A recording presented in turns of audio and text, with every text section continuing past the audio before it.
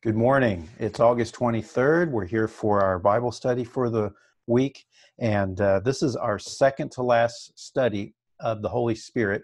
Uh, as you can see, we've been looking at living in the Holy Spirit, uh, peace, righteousness, and joy. Uh, real quick heads up next week we'll be looking at Galatians 5, verses 22 to 23, and you're all familiar with that passage. It is Paul's list of the fruit of the Holy Spirit. So we'll be looking at that next week. And then at the end of our lesson today, I will go ahead and pre- kind of preview what our fall schedule is going to look like. Uh, if you have your Bibles, you want to open those up to First Thessalonians. And we're going to be looking at chapter 1, verses 2 to 6. I'm actually going to read through verses, uh, or excuse me, through verse 10, just so that you can have the entirety of that. Um, we won't talk about the entirety of that passage. I'll just make a passing reference to that so that uh, you'll be able to uh, kind of see the context of what we're looking at. Today's lesson, lesson 12, is entitled The Power of the Gospel. It doesn't have the reference to the Holy Spirit in the title, but there are two references to the Holy Spirit in the passage that we're going to be looking at. One on the front side of the or the presentation side of the gospel and one on the receiving end of the gospel as you will see.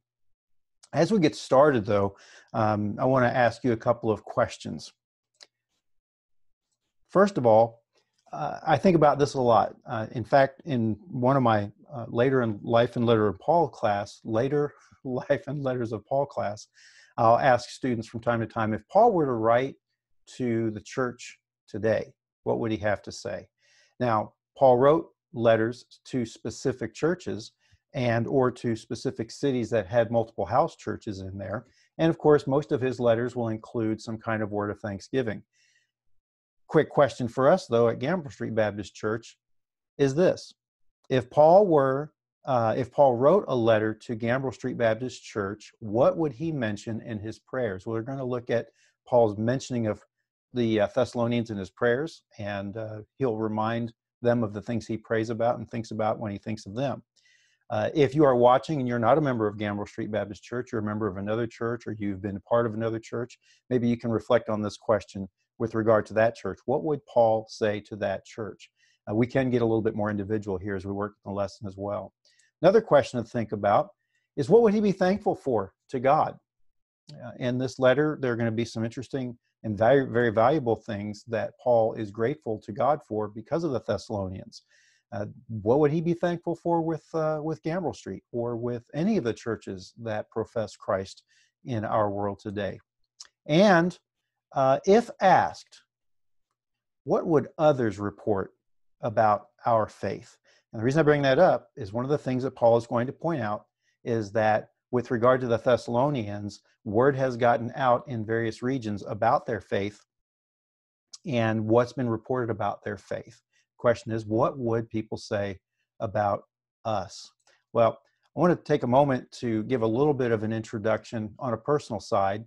And then what we'll do is we'll read the passage, walk through it, and then highlight a couple of things uh, for application's sake. I have to admit that this is probably my favorite word of thanksgiving that Paul gives to any church. Uh, I had the opportunity many, many years ago, uh, about 1992 or 93, and uh, was able to preach this in Lubbock, this passage in Lubbock. I preached it on another occasion, done other Bible studies. And it just amazes me the gushing emotion that Paul has uh, for the Thessalonians, not least of the reasons being the fact that their response to the gospel and the reputation that they were building uh, among the various regions in the area. And one of the things I had done in those sermons is encouraged each of the churches where I preached that passage to become like the Thessalonians, such that there would be a reputation among the peoples around them that what could be said about them is how they emulated Christ and how strong their faith was. Uh, it is probably one of the most, if not the most positive word of commendation that Paul has for a church. Uh, you'll recall that when Paul writes to the Galatians, he has no word of thanksgiving for them. In fact, he jumps right into condemnation. For the Corinthians, what I find interesting is that he's thankful to God for the Corinthians, but for what God has done for the Corinthians. Here, of course, what we're going to see is Paul's word of gratitude for what the Thessalonians have done. And you'll see that in other places. When we studied the letter to the Ephesians a few weeks ago, uh, we recognize that the first thing that Paul went on to do is talk about the spiritual blessings that are of the Ephesians and then for us uh, first, and then he spent some time in the at the end of chapter one giving words of gratitude. But I hope that uh, after today you'll go back and look at this. Hopefully you'll be challenged by this. Um, what we see after Paul gives these strong words of emotion uh, in gratitude for the Thessalonians, uh, you get a hint, if not more than a hint, of why that was when you look at chapter two and the way he and Silas and Timothy conducted themselves among the Thessalonians. What I'd like to do is uh, jump into the passage. Let me read it to you. I'll be reading from the NIV, and then we'll we'll walk through it verse by verse. I've got a couple other slides that I want to share with you as we go through the text uh, and discuss certain portions of it. This is what Paul says, and I'll just begin with verse one, the opening part of it, and then we'll jump into the Thanksgiving part.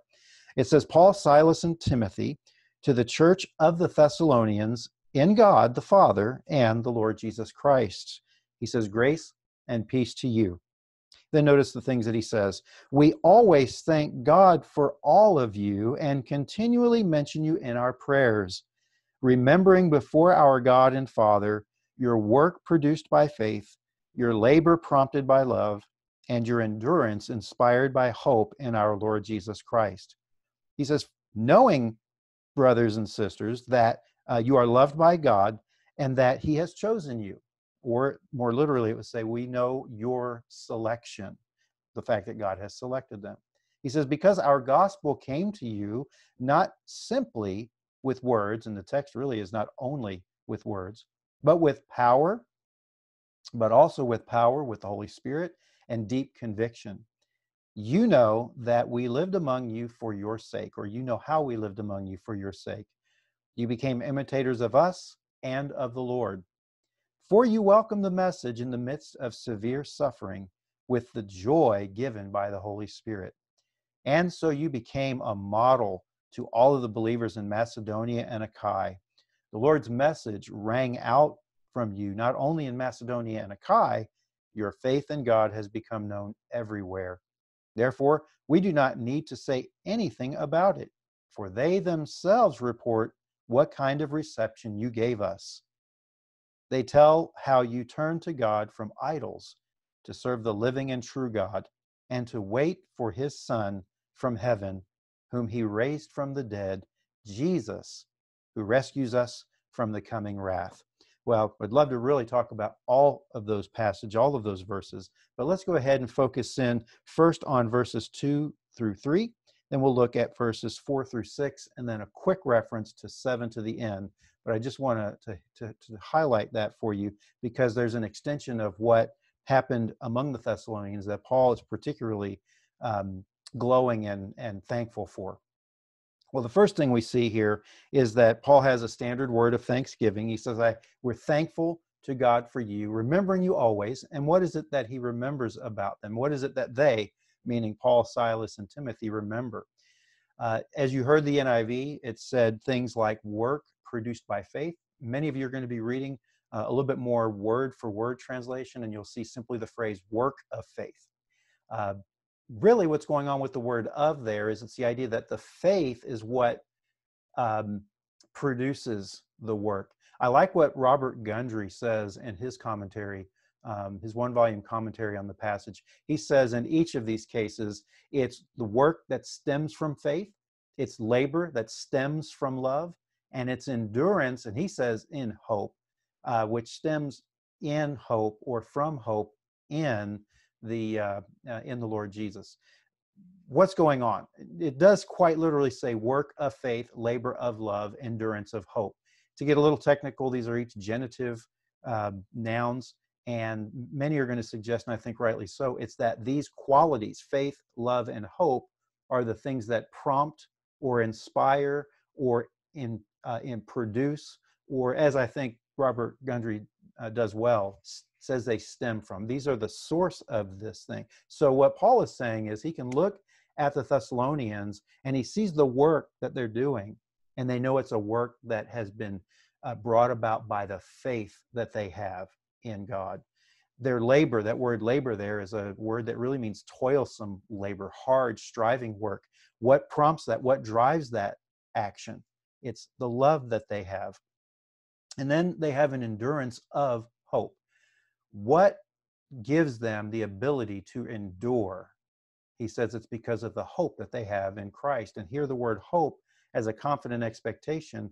And here and later on in the passage, the idea of, of Christ is not just Christ in their faith in him as a as as their lord but in the the hope meaning the confident expectation of his return and that is brought up near the end of the passage. We won't go into a lot of detail about this at this point but you do immediately notice what's the very famous triad in pauline literature and that is the three words faith love and hope. Of course you're probably more familiar with the order of faith uh, hope and love. And uh, what we have here is in this passage, because of what Paul says was the condition under which they received the gospel, the most recent thing he'll say about them is their endurance inspired by hope. In First Corinthians, at the end of verse uh, chapter 12 into verse 13, he talks about these three faith, hope, and love. And at the end of chapter 13, he puts faith, hope, and love in that order because love then becomes the theme of chapter 13 when he talks about all the things that love does and the things that love doesn't do. But uh, you'd be, I, I, won't go all through all the verses right now, uh, but one of the things you might want to do is note the number of times that Paul will talk about the faith, hope, and love in that order. And sometimes it's pretty subtle. Maybe sometimes you'll see two of them together uh, or different groups of them. But notice he says that they have an endurance that is inspired um, uh, in our Lord or the hope that is in our Lord Jesus Christ. And then he says the reason he prays this, and like I said, the NIV is going to start a new sentence here. Really, verse 4 begins with a participle that indicates the reason why they can pray these things. The reason he remembers them in this way, uh, and he focuses in on their faith, hope, and love, and the things that, that those those qualities produce, is that they, meaning Paul, Silas, and Timothy, know, and he then goes on to say what he knows about them. He knows that they have been selected by God. He says literally, your election or the election of you uh, or the selection of you.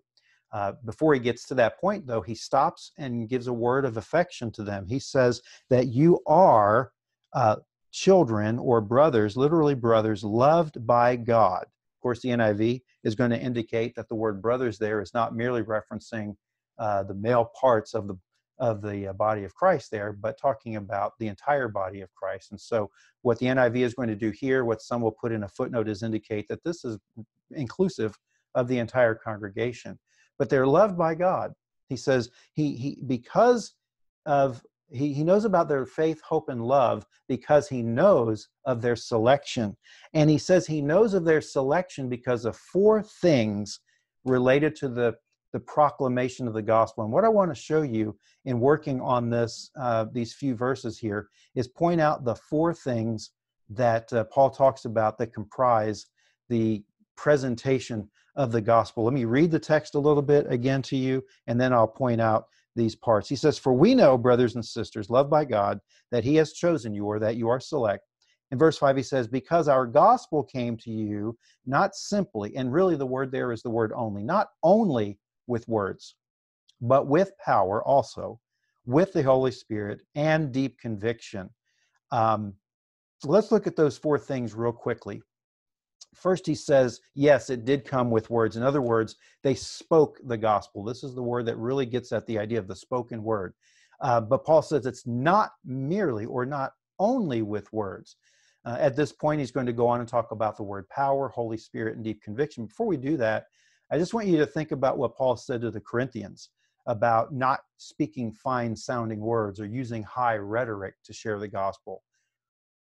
He says, here, yes, there was a verbal explanation or presentation of the gospel, but he goes, it wasn't just words. Not only words, but also. And it's that but also that we need to pay attention to because he says, yes, words were involved, but there were three other components that were involved. And he says that first is power. When you think of the word power here, I think it's going to be very important that you think about the fact that when in the book of Acts, following the pattern of Jesus himself, whenever there was a proclamation, it was accompanied by some kind of signs or wonders. There was power that accompanied that as evidence of the truthfulness of the gospel. And you can see through the book of Acts where that's present. Um, you can see reference to this in other parts of Paul's letters as well. Uh, again, time doesn't allow to go through all of those texts, but let me give you a couple of verses to think about uh, where Paul joins the idea of power with the idea of presenting the gospel with words. Uh, write these down and you can go back and look at these on your own. But go back and look at 1 Corinthians chapter 2 verses 4 and 5. I had just alluded to that passage a moment ago. Then look also at 2 Corinthians chapter 12 verse 12.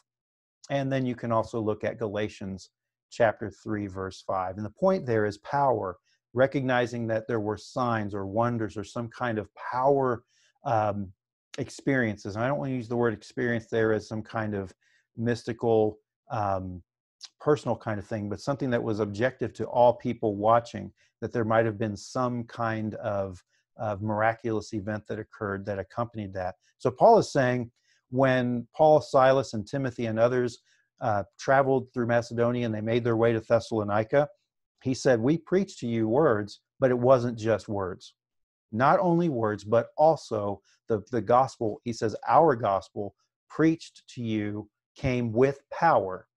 Of course, our focus is on the Holy Spirit, and Paul is going to be very clear that we also have the Holy Spirit. He says it was the Holy Spirit that was accompanying that and giving power. And we've made allusion to this and, and sometimes direct reference to this as well that uh, the Holy Spirit is very prominent in the book of Acts.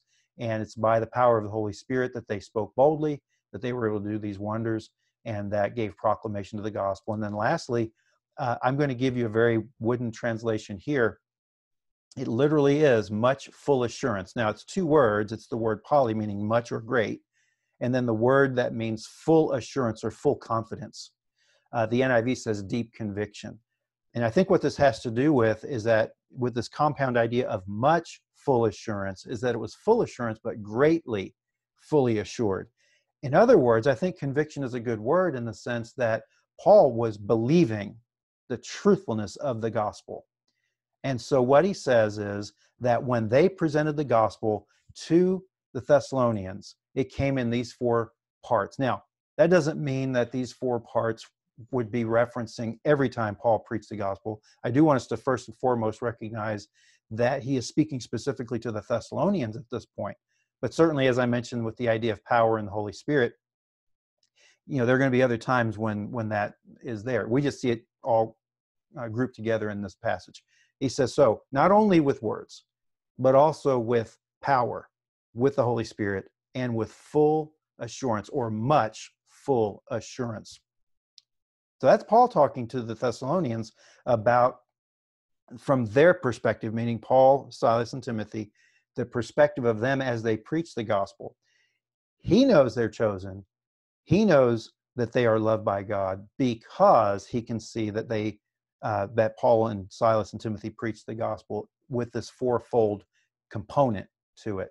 But the other thing that Paul does is he recognizes and acknowledges that that's not the only thing that the, the Thessalonians observed about you know hearing the gospel. Um, he goes on to say, just as or even as uh, you know what sort of people or what sort of men we were or what sort of men we became among you while we were among you and for your sake. I won't take time to go into a lot of detail about what's going on in that text, other than to say this that sometimes your translations are going to start a new sentence.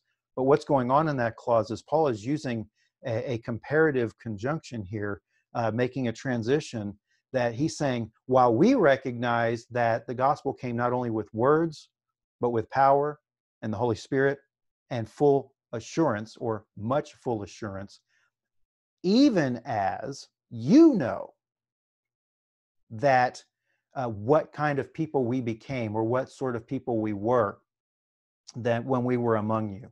And what he's acknowledging is that the Thessalonians recognized it wasn't just the words that they heard and some of the miracles perhaps they had seen that convinced them of the gospel. It was also the way Paul, Silas, and Timothy conducted themselves in their midst and for their sake. Uh, I would love to go through in a little bit more detail with some of the background language that's used here, but there are three times that the word for become is used, and many of your translations are going to translate them three different ways. He's going to talk about the gospel coming to them. That's one use of the word.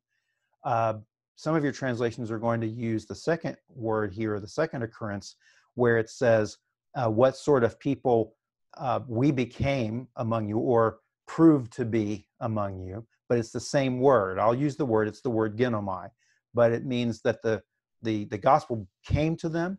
Uh, they personally became the sort of people uh, that they could emulate. And then we're going to see the third use, and it's the more typical use of the word. Once the Thessalonians received the gospel, something changed in them as well. And so uh, let me put that slide up real quick and show you what it was then you see from Paul's perspective the fourfold elements of the gospel uh, in the presentation of the gospel. And then what we see are two things that represent the uh, reception of the gospel by the Thessalonians. First, it said, Paul says, You know what sort of people we became among you and for your sake. And so, what he's acknowledging is that the Thessalonians recognized the lives of Paul and others. And I say the others because clearly, whenever Paul is using the first person plural here, he's referring to Silas and Timothy that were along with him during this time. Now, let me make a quick time out here because I might let it slip out of the way and, and not go and mention it. I think good background passage for you to look at is going to be in Acts chapter 17, where there is the record of Paul and the others going in and uh, preaching the gospel in Thessalonica. Another reason to uh, look at that passage is because it gives a hint of some of the temptation, or I should say, the, the tribulation or the persecution, um, the affliction they encountered uh, while they were there. Not just Paul, Silas, and Timothy, but those that began to believe in the gospel. When those Jews that did not believe in Jesus were following Paul around and seeking to find ways to accuse him and condemn him, they went after some of the people who believed in Thessalonica, and one particular person was Jason. In fact, he ended up being persecuted even more uh, by these these non-believing Jews because at some point um, he had befriended and housed Paul, Silas, and Timothy, and so there is that persecution that's occurring now. The book of Acts there doesn't tell us more about what took place. In fact, it just tells us that Paul and the others were there for a few weeks and then they left. Paul is writing this letter back to the Thessalonians, probably during his stay in Corinth. And that's evident from the fact the way Paul will use the phrases Macedonia and Achaia. But one of the things that Paul is going to say is in your reception of the gospel, one, you did it not only because you heard the message, but you also recognized the way we lived or the kind of people we were among you. And then next, he talks about the attitude with which they received the gospel and that is that they received it with or in much affliction or tribulation. And that didn't stop them from doing it. And it's going to be that kind of thing that's going to provide uh, the means by which or the foundation on which they're going to be examples themselves to other people. Well, as I said, on the one hand, Paul speaking from his perspective about the gospel is talking about the presentation of the gospel, but it wasn't just the presentation of the gospel that led the, the Thessalonians to Christ. Part of what led them to Christ was the life that Paul lived among them. And, and if I could just stop down at this point, I would challenge you to go back and look at the letters of Paul. You can certainly look at the book of Acts, but look at the letters of Paul and note the number of times he references the way he lived his life among them. Now, one, of course, he will recognize or help them seek to recognize that uh, he was blameless in the way he lived his life. He lived above reproach, and there was no way that they could accuse him of anything. Uh, he makes that plain in his farewell discourse um, in um, Miletus when he talks to the, the leaders of Ephesus in Acts chapter 20. He will remind them of the way he lived his life. And so the reason I bring all of that up, I know you've heard this famous statement, you know, always be preaching the gospel and when necessary use words. Paul doesn't separate those it's clear that the proclamation of the gospel requires words. but those words have to be accompanied by the life. And I think a lot of times uh, our witness is uh, betrayed when we speak the words, but we don't live the life. And that's going to prompt me to offer some questions near the end with regard to our own witness when we get there. But I want you to see the the two the, the two perspectives from which Paul is bringing up this this idea of the presentation of the gospel. Certainly the presentation with words and all the other accompanying components, but then he also acknowledges that the thing that convinced or came to convince the Thessalonians was the way that Paul and the others conducted themselves among them. And that's important because what is said next is that the Thessalonians then went on to become imitators of Paul and the others. And not only imitators of Paul, but imitators of the Lord. And I always love looking at that word imitators because you know we get a lot of our English words from these various Greek words. They don't always share the same meaning. But the word for imitator here is the word from which we get our word mimic.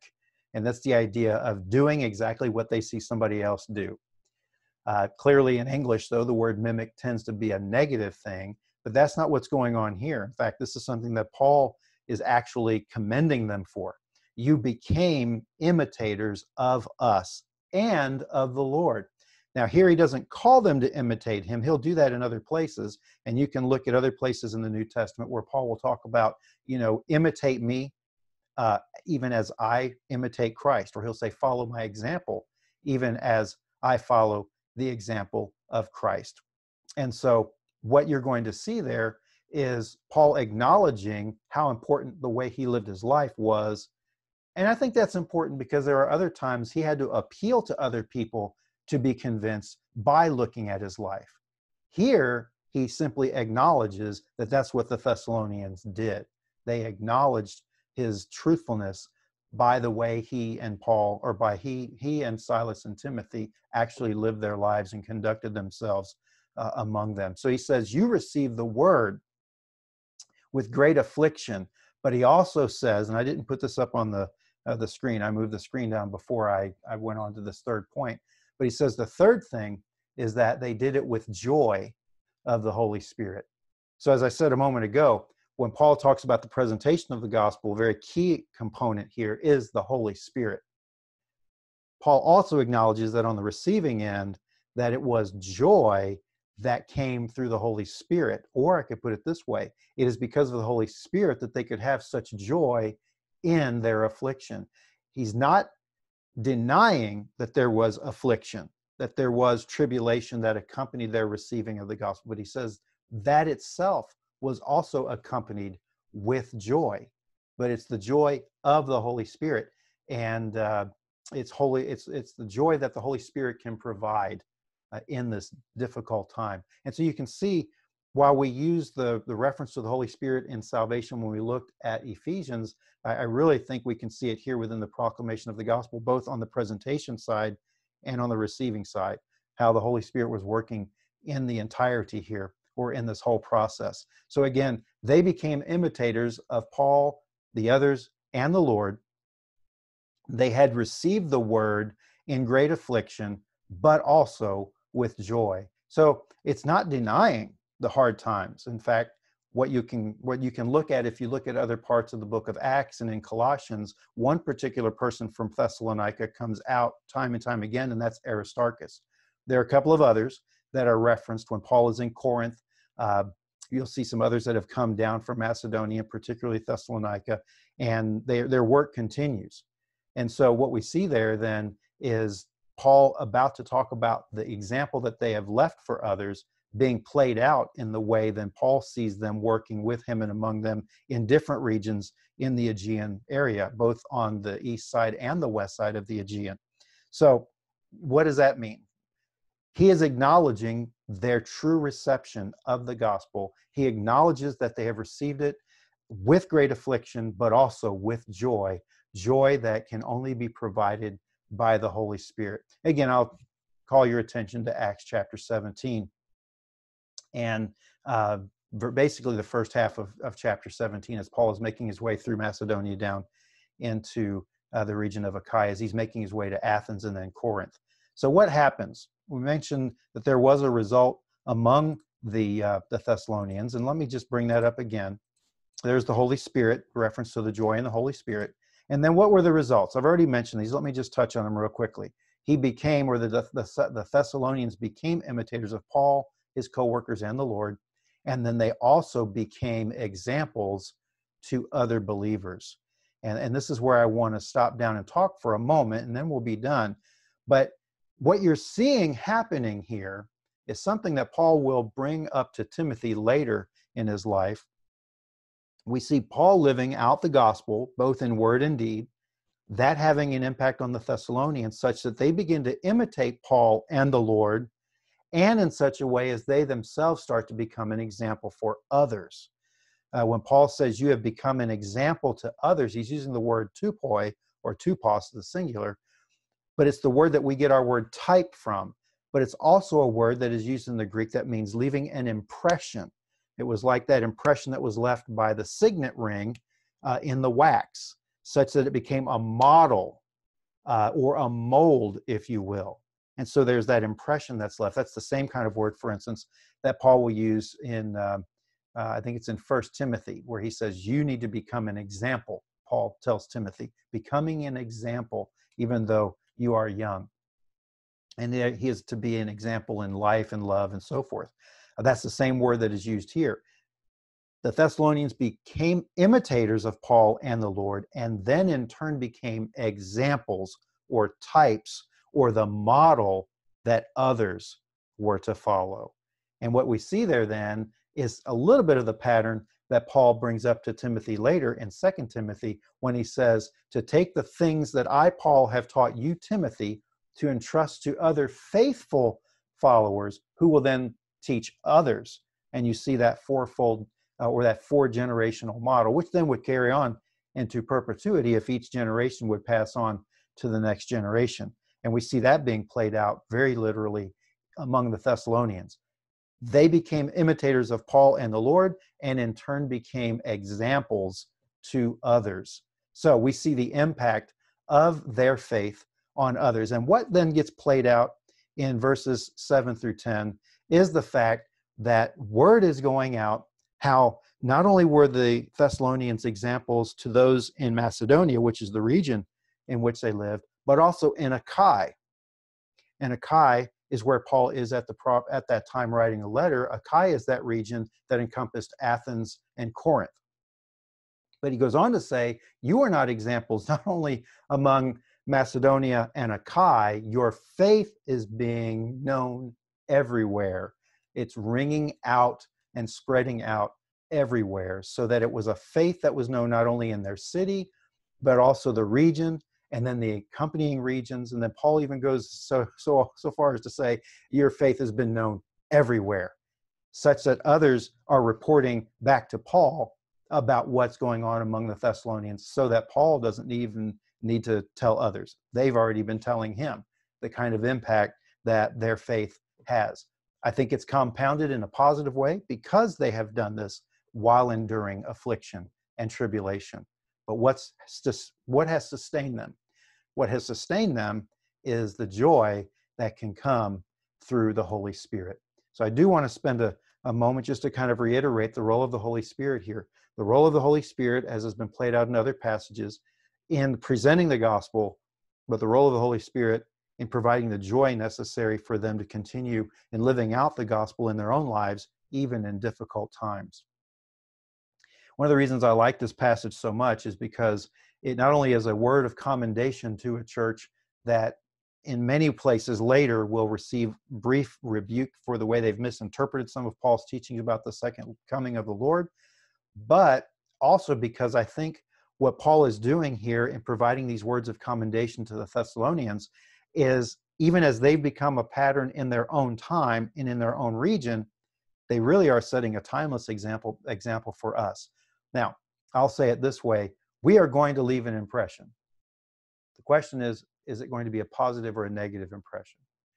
Uh, one of the things we know from the book of Acts, chapter 17, is that when Paul, Silas, and Timothy went into Thessalonica, there were those that followed them And when they went in, these Jews that went in to follow them to start to stir up trouble among the people in the city that Paul was visiting, this particular case, Thessalonica, the religious leaders, these Jewish leaders, refer to Paul and these others as those who are turning the world upside down. Now, when we hear that phrase from the King James, we always use it in a very positive way. We say, look, they turned the world upside down. Uh, the reality, though, is that this is a word that really means they're causing dissension. They're being troublemakers. They're stirring up trouble. And that's the same word that is used later in the book of Acts describing the fact that Paul and others are, are causing this trouble. It's the same words used, for instance, when they go into Ephesus and they're accused of, of, of stirring up dissension and trouble. Yes, I do think it's a positive thing when there's that kind of impression that is left that we go, we can't go unnoticed. But the reality is that the perspective of the Jews at that point who were opposed to Paul saw that quote impression in a negative way. What Paul is being uh, has been saying here to the Thessalonians is you have been an example in a positive way. The word is getting out on you, and we hear about your faith. The word about your faith is spreading. And so, what I'm thinking of in these terms is the Thessalonians were a very positive example.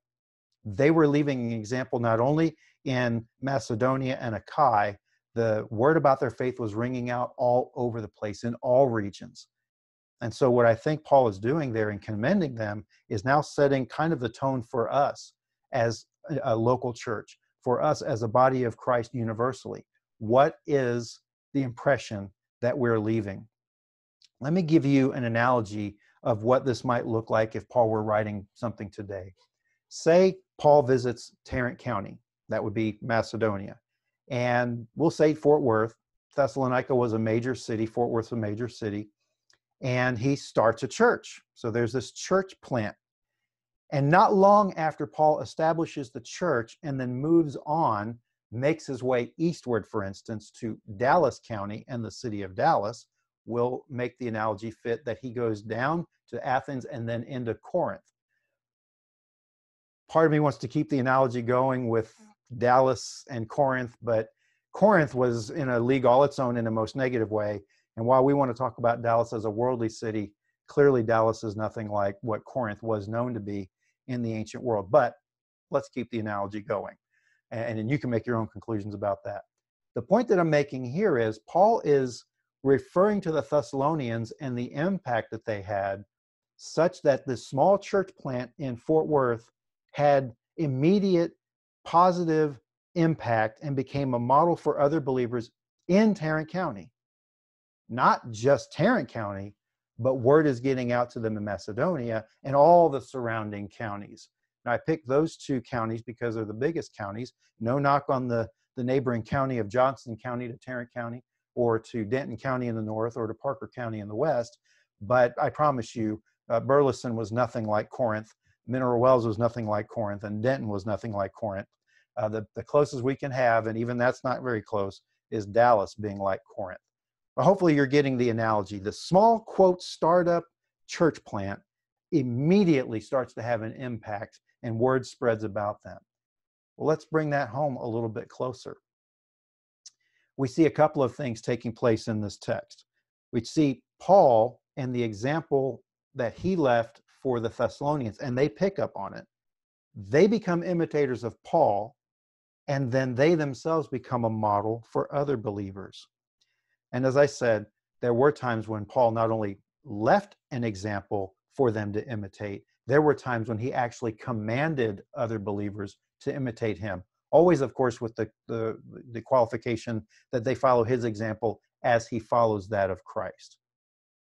The question then has to do with us individually, but then also with regard to us as a church. And so let's look at this final slide and think of some words of application here couple of questions. There are people going around commending the Thessalonians for their faith. Paul is commending them in this letter to them. Who would you recommend people emulate in living out the Christian faith? Now, I've got another question in a moment, but the reason I ask this one first is most of the time we don't want to commend ourselves. We want to think of somebody else. If we were to say, this person or that person is the kind of person you should follow that you should look after, that you should imitate, that you should emulate, who in your life do you think that would be? We always want to prop up our pastor, and I think that's wise. Um, I think there are other members of our church that we could do that with. Maybe it's someone not in our church uh, that you know that's been in, had an impact on you. Who would you recommend that people emulate in living out the Christian life? Obviously, we want to be imitators of the Lord Jesus, and Paul said that's what the Thessalonians were, but he also indicated they're um, imitating him. Here's a more sobering question Could you or I invite someone to imitate us individually in the way that we live out our Christian faith and life? Paul is telling the Thessalonians, You're a model. Uh, you're someone to follow. You followed our example, you followed the Lord's example, uh, and now you've become an example. Could we comfortably say, I want someone to follow my example? Now, if I were to ever say that at this point, I would say I would put heavy, heavy qualifications on what Paul says regarding the fact that he would eh, ask them to imitate him as he imitated Christ. To the degree that I am imitating and emulating Christ, then certainly those are qualities you would find. I know that I have a long way to go, and many of you would be very gracious to try and say wonderful things about me, but I would still be hesitant to say, follow my example. Um, I've been asked a time or two to be someone's mentor, and uh, I've done it. I always feel very inadequate in doing that, but I've always received, you know, very w- strong words of confidence from people around me in encouraging me to be a mentor. Uh, but I always feel uneasy about that because I feel like I always need to be mentored myself. And I think some of you are going to be in the same boat in, in terms of your own mindset, even though I could point at each of you right now and say you'd be a great mentor you'd be a great mentor. Uh, we would i'd love to see people following your example but i do think there's a place for our humility at that point to say i'm hesitant to have someone follow my example. Uh, paul never does say that in a boastful way to follow his example. He acknowledges when it happens um, and he does say when it should happen. But think about that. Are the kinds of things paul is saying here something that we could take on ourselves? So let me stop that for a second and come up with a couple of other things uh, related to Gambrell Street specifically, or again, if you're watching from another church, uh, your own church or other churches that you're aware of. Uh, if we were to make Gambrell Street Thessalonica, the church in Thessalonica, um, what do we need to do to be examples in Tarrant County such that word is heard throughout Dallas? One of the things that we've said about uh, Gambrell Street is that we want to be a regional type church, that there would be people coming from all over the, the county, maybe from other places. Already, you know, I live in Arlington and drive to Fort Worth when we meet. There are others that live in Johnson County. We see some people from Haltom City. We've seen people drive from Weatherford um, and other places uh, throughout the, the, the region to come to Gambrell Street. So, in, in some ways, we are um, living that out but of, of course there are other opportunities that we have. What kind of reputation do we want gambrell street to have?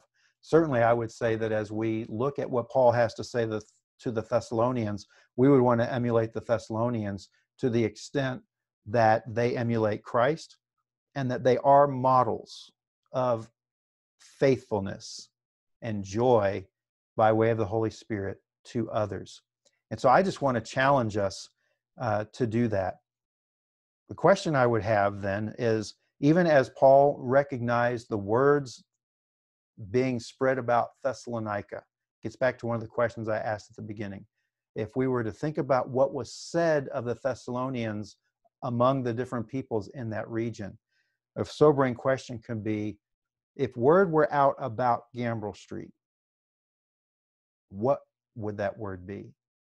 What do we want that word to be? We certainly want it to be a word that these are faithful people, that they are uh, loved by God, that they exhibit a work of love, or excuse me, a work of faith, uh, a toil of love, a labor of love, and a, a, a hope that produces a, a, a, confidence or a confidence uh, that produces perseverance in difficult times. Uh, I do think there's a lot for us to look at the Thessalonians. Again, there are going to be some doctrinal issues that Paul has to correct with them. um, that they need to to be further enlightened on.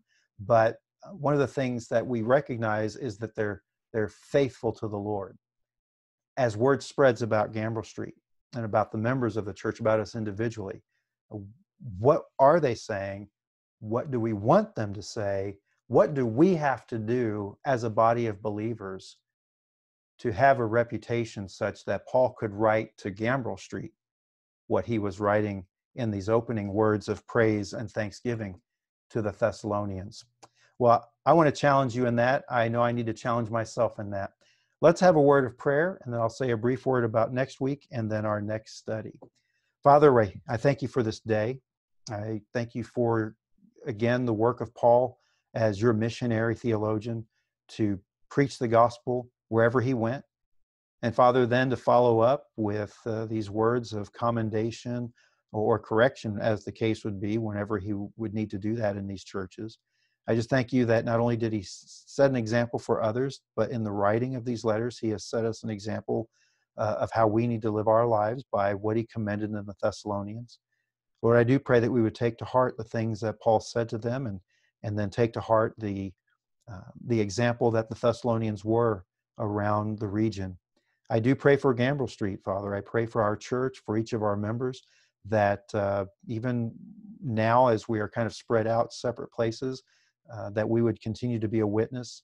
And then when we gather together, that there would be a light shine from from the, the building and from our lives uh, that uh, the reputation of Gambrell Street would be that we are a people who um, work and labor and endure because of our uh, our faith, love, and hope, and, and that that we would be people who imitate you, who follow the example of your word, and then that love the world to the extent that we want them to know the gospel and to know uh, you in personal relationship. We know we have a ways to go. I'm thankful for the many members that are way, way ahead in that area, that are people that I can personally look up to. And Lord, I just pray that you will continue to guide us by your Spirit uh, to be all that you want us to be. And we love you and praise you and ask now that as we get ready to gather for worship, you will be honored uh, solely uh, and singularly this morning. We pray all this in Jesus' name. Amen. Well, as I said, next week we're going to be looking at Galatians chapter 5, verses 22 to 23. We're going to be looking at the fruit of the Spirit. And that's going to be our last lesson for the summer on living in the Holy Spirit. We're going to be looking at the letter to the Philippians. And I hope I can get this where there's not a lot of glare. But we're going to be looking at the letter to the Philippians in the fall. And the title is going to be Pure Joy a choice to rejoice. And this is going to be another opportunity for us to go through an entire book of the New Testament, verse by verse. So, in the 12 or 13 lessons that we have for the fall, we will be able to cover uh, all four chapters of the book or the letter to the Philippians. It's a big week. I know that we, for some of you, there's, you know, the school has started. Uh, many others are starting this week. And uh, as we do, even though there are other things going on, uh, we're concerned about COVID. We're concerned about other things that are taking place in the world. The reality is, it's a new week, and every week brings its own challenges. I'll just say that I pray for you as the week begins and look forward to when we will be able to see each other again next week. And very much looking forward to when, in a few weeks, we will be able to see each other in person. And I've already promised that uh, you need to be aware uh, of the emotion that you may see from me as we gather together. It's been a long time, and uh, even now, just thinking about it, uh, I'm going to rejoice being able to see each of you face to face. I'll say it here, I'll say it then. I love you guys, I miss you guys, and I look forward to seeing you very soon. Have a good week. God bless you. Bye bye.